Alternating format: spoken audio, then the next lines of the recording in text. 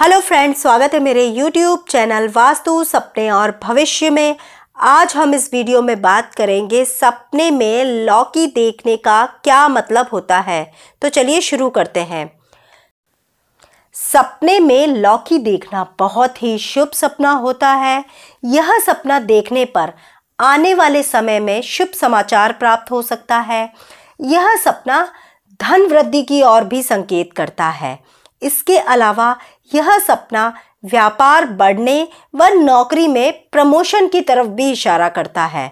साथ ही यदि कोई गर्भवती स्त्री यह सपना देखती है तो पुत्र प्राप्ति का संकेत देता है। कुल मिलाकर सपने में लौकी देखना किसी न किसी प्रकार से सुख देने वाला होता है।